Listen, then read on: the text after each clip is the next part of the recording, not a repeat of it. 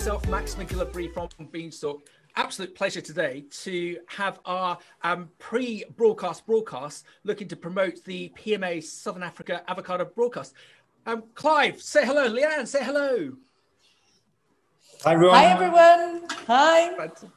Fantastic. So what we're going to do um, in this little session, everyone, is we're just going to um, give um, a little bit of background to, to Clive because he's a very important person in the in the world of um, avocados, not only in South Africa but in, in the world.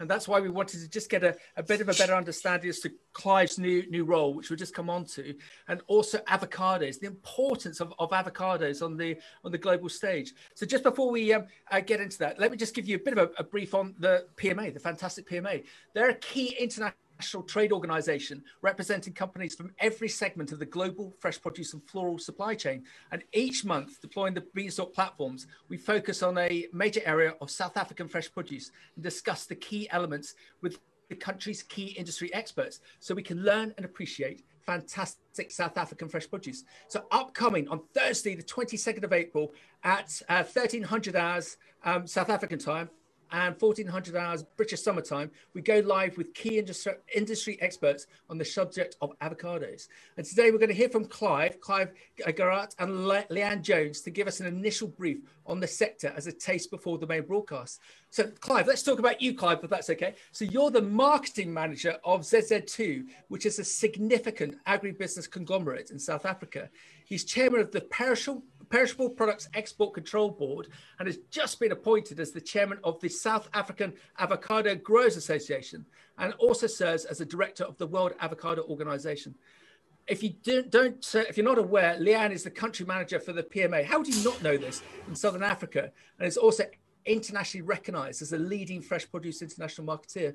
And we're very proud to have our partner sponsor, Hub involved with the, this month's upcoming broadcast, and they support fresh produce businesses in over seven countries, managing regional, national, and international supply chains. And you can visit them by just dialing in Hub on um, um, onto onto Google. So, Clive, I, am going to start off with, the, with that inevitable inevitable question. Clive, what's your favourite fresh produce?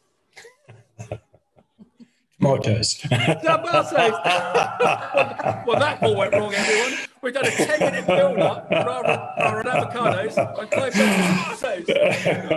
oh, no. So, so, so, Clive, what's your background? How did you get into the uh, the mercurial world of fresh produce? Um, Max, I'm a, I'm a chartered accountant by training. And um, I worked for a company in Tzaneen that was actually involved in avocados for quite a while. I was the financial director. And then I wanted a bit of a change in, in, in focus. And um, I got an opportunity to, to join ZZ2. As you mentioned, they're an agricultural conglomerate. Uh, their major product is actually tomatoes. That's why I chose tomatoes when you asked the question now. Um, and I, I, actually got a position there as, as, the marketing manager. And I've been I've been with ZZ2 now about 15 years. Um, but ZZ2's focus is, I don't want to say shifting from, from uh, tomatoes. They're still very big in tomatoes, but they're putting more emphasis on avocados because the South African economy has been very stagnant for a while, and we're not seeing much growth in our economy. So what we've had to do ZZ2, if we wanted to keep growing the companies, we've had to look at export products. And we were well placed with avocados. We already had a, a sizable orchard, and we've we've aggressively expanded our plantings on the avocados. And uh, we're now one of the larger avocado producers in South Africa. Wow, that's, that's fascinating. And what I've learned from our broadcast with Lianne and her, her great team and the, the experts that they've, they've garnered for us. I, have always rolled out this stat that um, in, a, in a conventional year, South Africa exports four and a half million tons of fresh produce. What I wasn't aware that um, you also serve the domestic market with three and a half million tons of, of fresh produce. So, so yourselves as a, as a growing hub is, is significant. With with your with your business, are you uh, predominantly um, serving that internal market or the international market, or, or is it or is it a bit of both? Well, yeah, that's the, exactly what I was saying now, Max. Uh, in terms of, of products like tomatoes that have got no shelf life, uh, they're very or highly perishable, uh, onions and, and a few other commodities, those are all for the for the internal market, for what we call the domestic market. And then, of course, the avocados, the blueberries, the cherries, the dates, um, those are predominantly export based. So, yes, we do send a little bit of that product uh, internally, but the majority of those products are, are export exported. Fantastic. And it's going to be um, on the broadcast next week. Um, we've uh, got a, a, great guy coming on, a chap called um, Joe Shaw Roberts, um, who's the Insights Director for Kantar. And it's going to be fascinating to get his take as to where um, avocados are, are, are, going to go. We were, just having a, a bit, re- a quick reminisce in our, in our office, trying to remember when we all had our first um, av- avocado. And it's, it's a bit Clive Leander's a bit so reminiscent with my, my parents. So they, they can remember having their first banana uh, post the Second World War.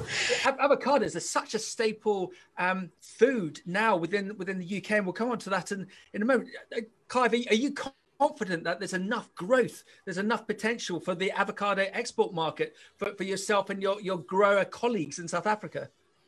Absolutely, Max. You know, at this stage, uh, and we'll talk about it as we get into this discussion further. At this stage, South Africa only has access to Europe. Um, but we've got a big, wide world waiting out there for us. We've got the USA, we've got the, the East, especially. We've got China, we've got India, we've got Japan, South Korea, etc., etc., etc., the Philippines. So there's a, there's a huge market still waiting for us to get into um, at this stage. But the, the fantastic thing we do see is that the growth of avocados in, in Europe continues. It continues unabated.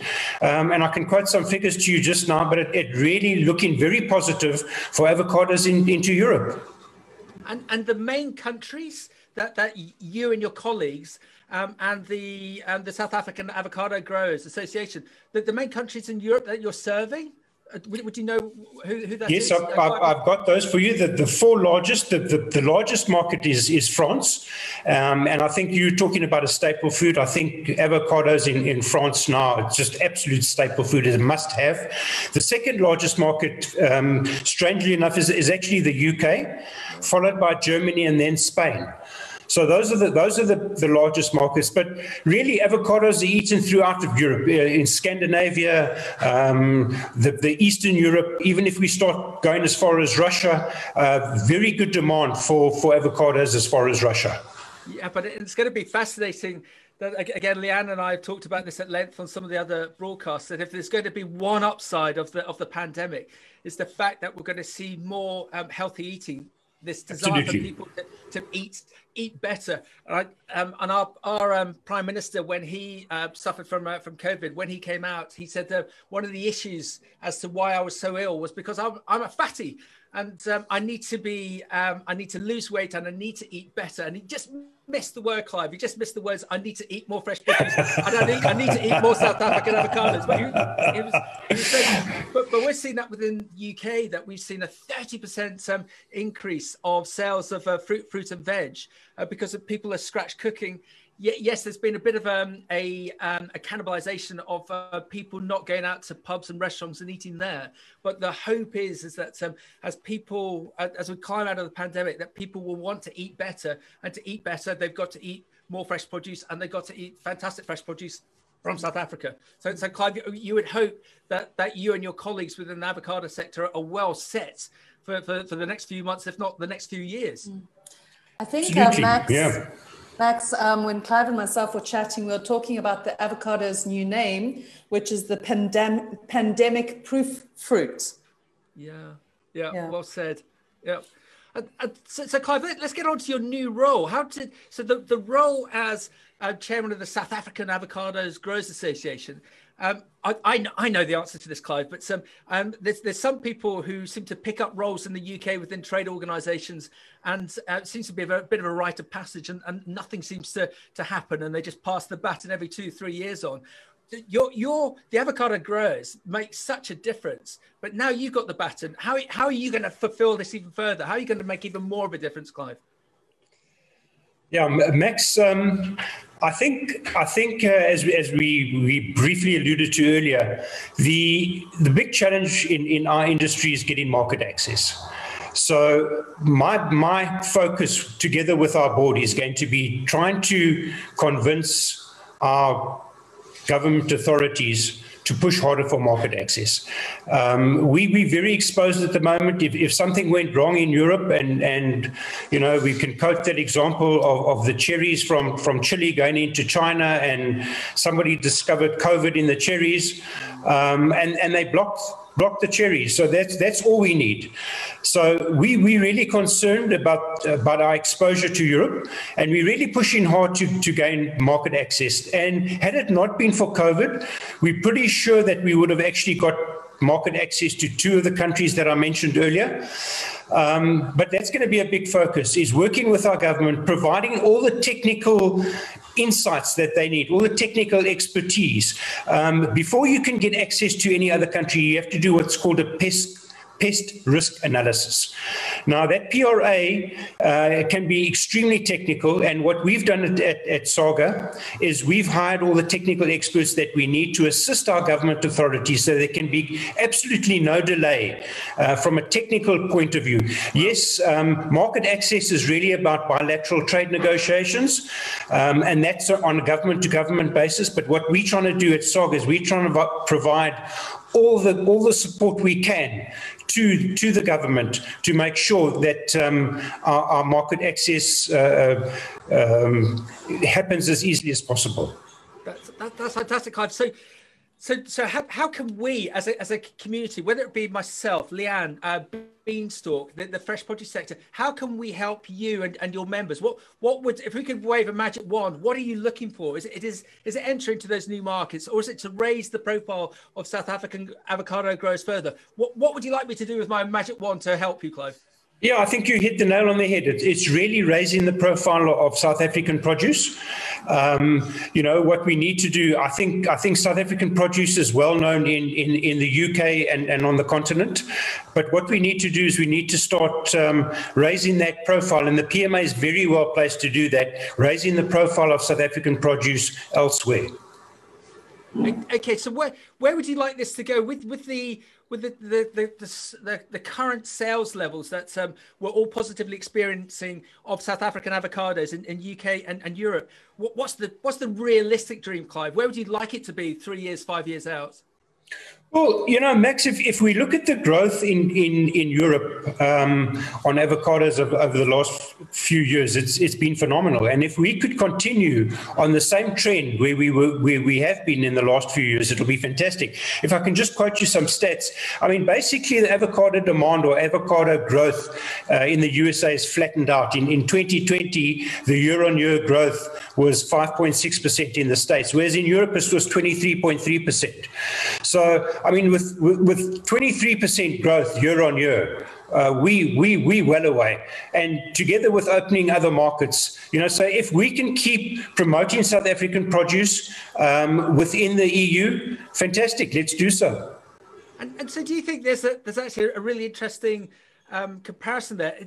Has America reached saturation? Of, of avocados, well, not saturated, uh, has it plateaued out? Whilst in the likes of UK, Europe, and and, uh, and Asia, there's still so much more to go. Absolutely, I, I think um, that's spot on. Um, if you look at if you look at the population of Europe against the population of of the states, you should be actually consuming greater volumes within the EU, and we're not yet. So I think there's still incredible room for growth.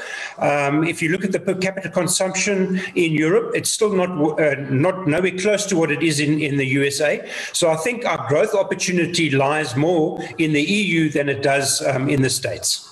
Okay, but you'd also still like to go to, to Asia to, to look to Absolutely. penetrate that market as well. Okay. Absolutely. And, and so, and, and, and uh, Clive, I think you're one of the most busiest individuals I, I, know, in that you also serve as a director of the World Avocado Organization. And um, I think it is them that uh, run um, adverts for avocados on the likes of the Super Bowl. And, and so the, your learnings from your colleagues on that side as to what they've done to create that magic dust, that success for getting more avocado sales, presumably you can take that into South Africa and, and focus that to get further penetration into the likes of Europe and Asia. Absolutely, and and uh, the, the, fantastic thing is we've had tremendous success with with World Avocado Organization, or, or, WOW as we all call it. Um, we started about three years ago, um, and I think that's actually what's driving the consumption in in in, uh, in Europe as well, Max. Uh, we saw it in the, in the states once um, once the guys started promoting avocados, you saw con- consumption climbing tremendously, and we've seen the same thing happening in Europe. If you make people more and more aware of avocados, the versatility of, of avocados, you know, you can eat it for for breakfast, lunch, and supper supper. You can eat it as a main course. You can eat it. Uh, Lianne and I were discussing. You can. The biggest craze now is a chocolate mousse made from avocados. So the versatility of it. Um, but but what Wow has done, Wow has connected very well with the supermarkets or the retail outlets in Europe, and they've run campaigns together with us, and it's been a huge success. Clive, do you think there needs to be a brand you, you, look, you look at uh, the fresh, fresh produce um, globally. Well, not not so much globally, but within the UK, we're not really allowed brands. The retailers don't want us to, to have brands because it's um it, it potentially will give uh, the, the, those growers, those marketeers leverage. So that the only two main brands that we've really got in, in the UK fresh produce is Pink Lady apples and Tender Stem, um, and they've got very strong penetration. Do you think it would it further accelerate the growth of avocados, especially South African avocados, if we had a brand? What do you think?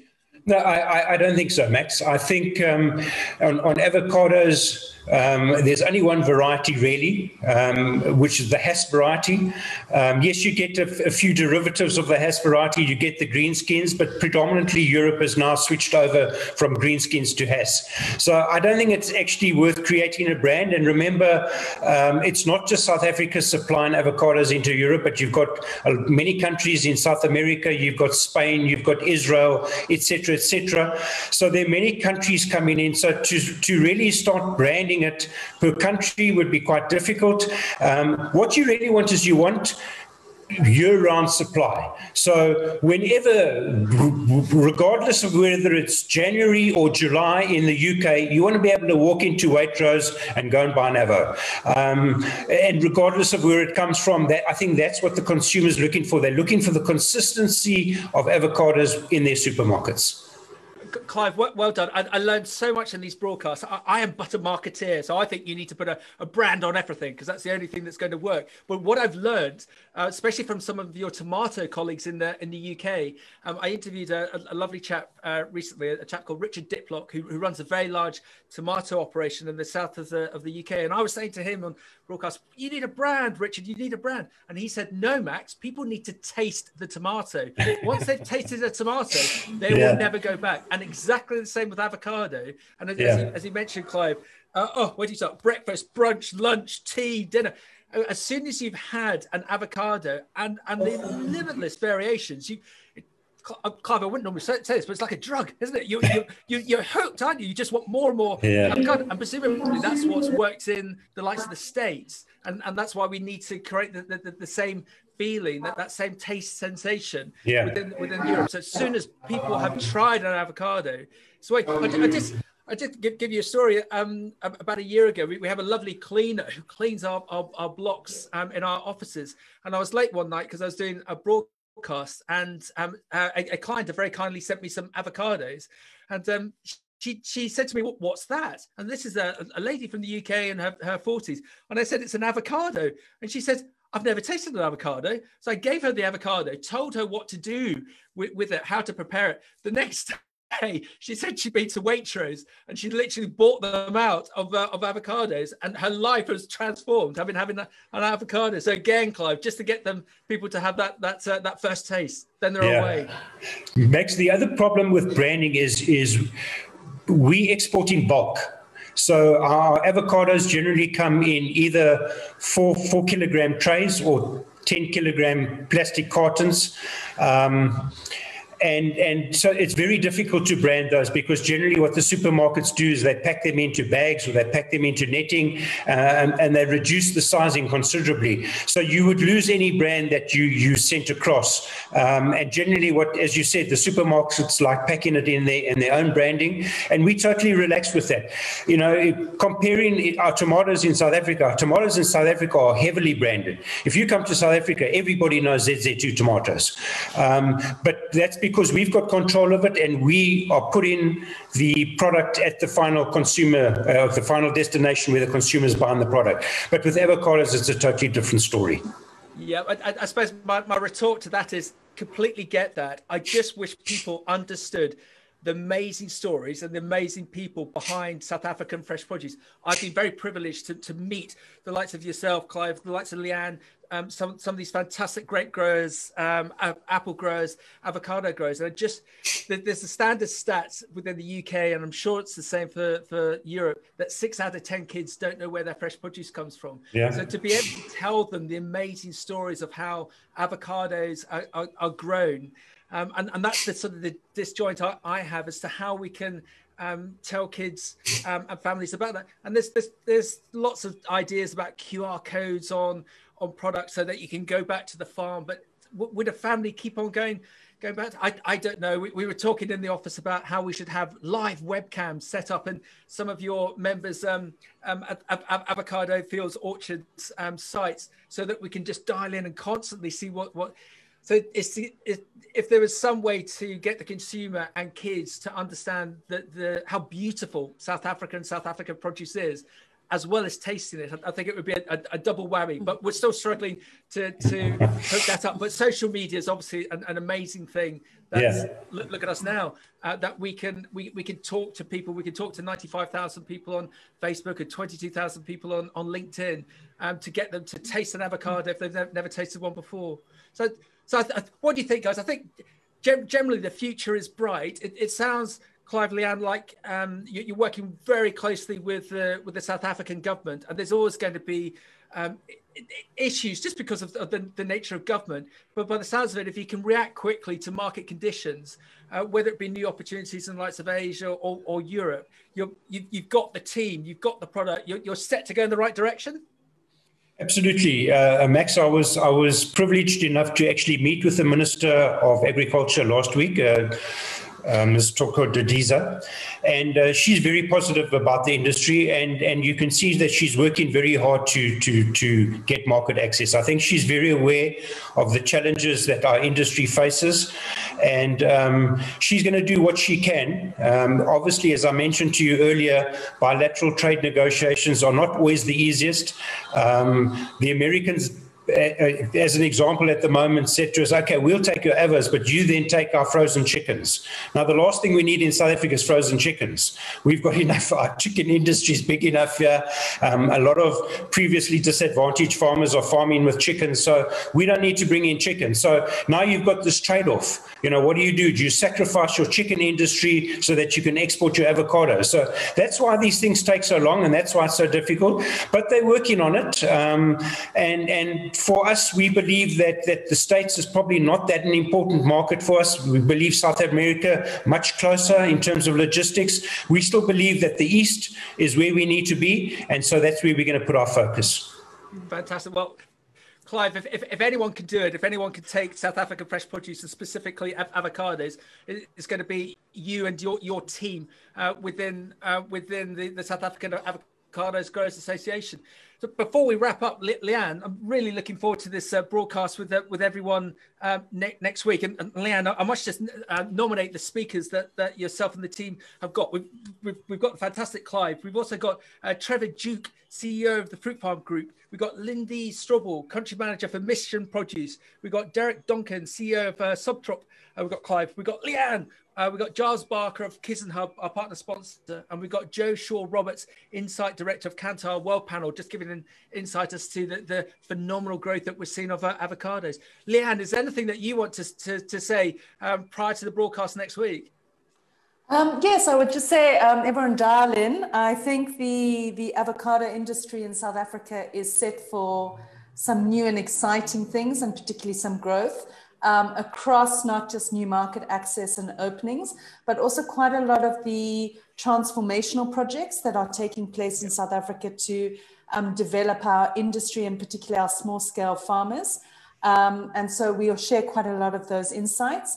And I think the industry have been in preparation for the last five years, and they're really ready to, to go into a very strong growth phase and, and more sort of um, impact on the global marketplace. So I would say watch the space and, and dial in next week. Fantastic. I, I just love the passion, and the excitement of both of you in, in the respect of South African fresh produce and um, and avocados. So everyone, it's Thursday, the 22nd of April at uh, uh, 1500 hours South African time, 1400 hours um, British summer time. Uh, Clive, before we wrap up, I'm going to lead the witness on this one uh, one now. Uh, Clive, what's your recommendation has as to how uh, you can eat avocados and enjoy it the enjoy it the most? What how how do you like having your avocados? Smashed avos on toast. and, and, and, and anything with it, or, or just naked like that? Naked as is. But fantastic, Lianne. Lianne, how, how do you like having your avocados? So um, I'm actually I've become a sneaky avocado um, eater because my toddler gets avocado smushed into his spaghetti bolognese, his mashed banana and yogurt. So we've become a sneaky avocado house. So it just gets um, stuffed into anything that's been cooked um, for for the health of our family. Excellent. And I'm, I'm with Clive, um, but I don't go naked. I go, God, wow, am I really saying this? I go avocado with a, with a poached egg on top. But avocado mm. guacamole is, is just a die for on a, on a Friday Friday night, Saturday night, Sunday night, uh, Monday breakfast. We could go on. Um, everyone, dial, dial, into the broadcast next week. It's going to be it's going to be fantastic. It, I just want you to learn so much about South African fresh produce. These amazing people uh, like like Clive and Lianne, and this amazing fresh produce majoring on avocados. Everyone, look forward to seeing you next week. Clive, superstar. Lianne, superstar. Uh, we'll see you next week. Thank you very much. See you next week. Thank you. Bye. Bye-bye. Bye. Bye. Bye. Bye. Bye. Bye.